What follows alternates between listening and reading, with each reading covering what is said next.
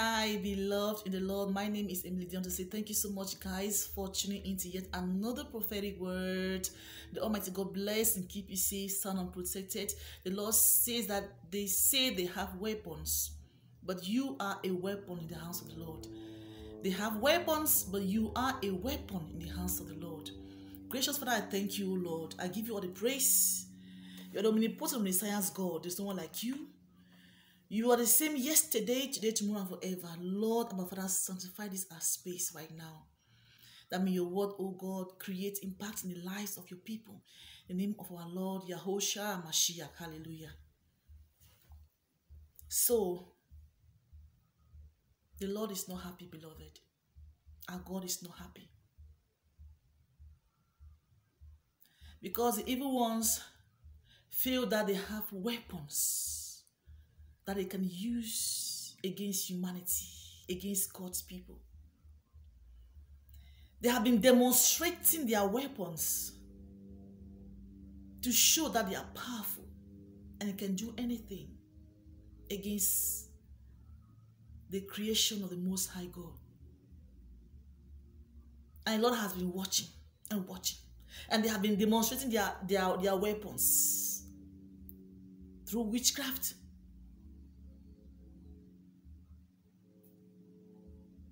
wars,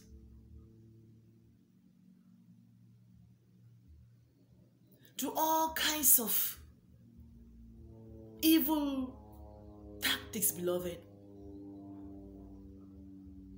Occultism. All these things have been their weapons, beloved, against the people of God.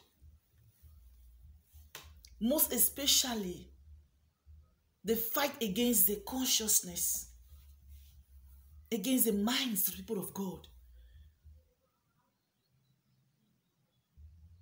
Most people of God, beloved, have been weaponized. So many things have been used to weaponize the people of God. And Lord has been watching and see how they have been putting all their armors into action They've been putting their armors into action in, in every shape and form. And Lord says that you have, you are not just, you don't just have weapons, but you are a weapon in his hands.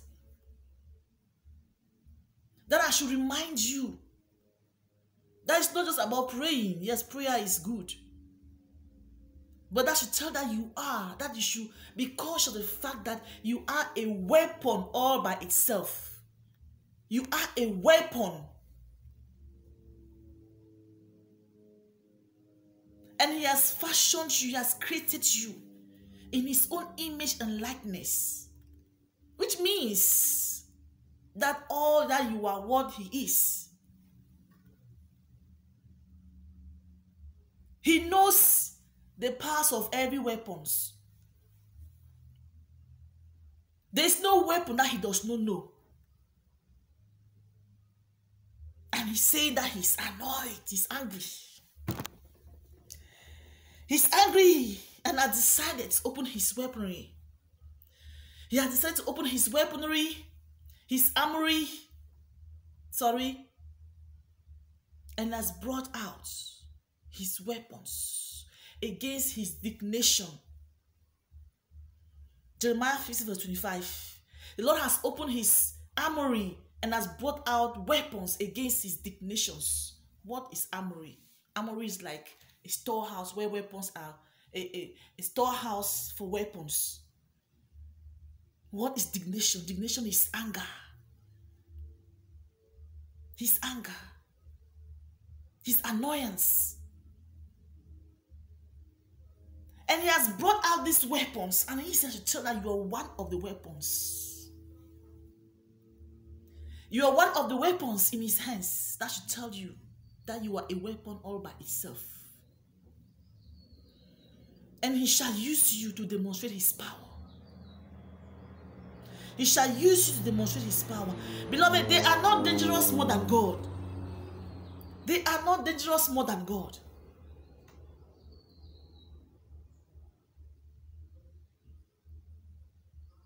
They are not dangerous more than God.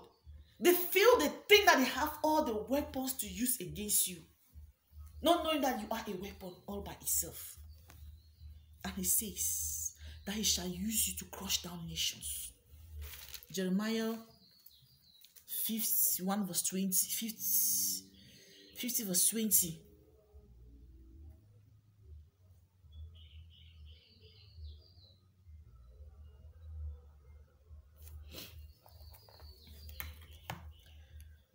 Jeremiah 51 verse 20.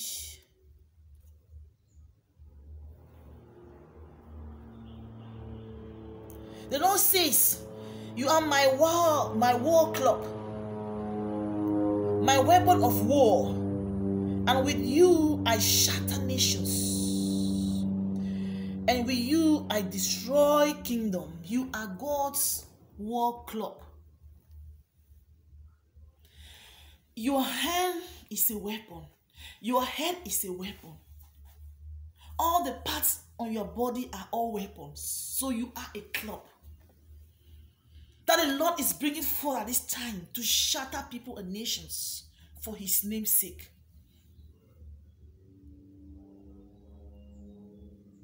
Whatever you say is a weapon. Because the word that you speak are the word of God, sharper than any two-edged sword, beloved. As you pray, this is a weapon because the weapon, the weapon of our warfare are not carnal. They are not carnal, beloved. They are not about guns, sorcery, every kind of other kind, other kind, other, all kinds of things. But you are a special being.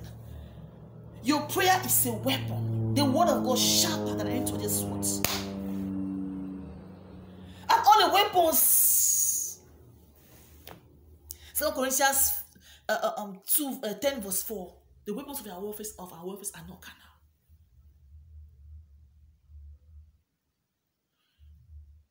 And when god starts using you as a weapon all the moons the stars they give way because of your radiance because of the radiance of his weapon. Because the way you shine beloved you are you are you are destroying nations and people and things that aren't serving the Lord. That should remind you that you are a weapon in his hands. Habakkuk 3 verse 11. Habakkuk 3 verse 11, beloveds. Let me tell you how powerful you are in the hands of the Lord.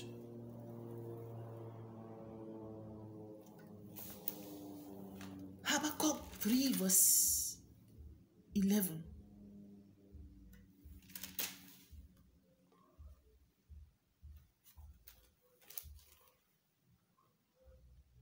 Oh, I say it's, is Zephaniah, sorry, Zephaniah 3 verse 11. Sun and moon stood in their places. They went away at the lights of your arrow and the radiance of your gleaming spear. At the light of God's arrow and you are that arrow, every other thing gives way. As you are coming, every other thing gives way, beloved. Because you have been fashioned. If only you can have this, that's why that's why they have destroyed our conscious people's consciousness that they, they should not be able to understand who they are in the hands of the Lord. You are a pencil in the hands of the Lord. You are a craft in the hands of the Lord. You are everything in the hands of the Lord. He can use you, to do anything, beloved. Lord is saying that you are a weapon in his hand. They have weapons, carnal weapons. But you as a being, you are a weapon all by itself in the hands of the Lord. And he shall, he shall use you to destroy things that are not of God right here now the planet, beloved. Their weapons are not stronger than the, than the weapons of the law. He can use natural things, disaster to, to destroy. But he says, You're one. You're one with all the other weapons that he has this moment to perfect his will on the planet, to fight the battle and conquer. Your word is a weapon. Your prayer is a weapon. Your hands are a weapon. Every your your, your, your entire being is a weapon, a club war for the Lord. So take care of yourself, beloved. Start putting, start knowing the things, start knowing the power of your being. Start knowing the power of your hands, the power of your legs, the, the power of your head, the power. Beloved, there's power all over your being, all over your, your, your entire body is so powerful. Do you know this? Do you know this?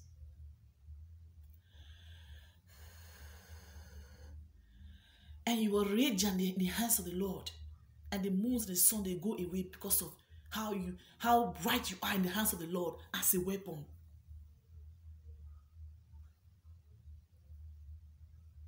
They have weapons, but you are a weapon all by itself in the hands of the Lord. Say this to yourself right now. You are a weapon in the hands of the Lord. Beloved, you should be able to read Jeremiah 50 verse 20, 51 verse 20. You be able to read Zephaniah 3 verse 11. And of course, Jeremiah 50 verse 25.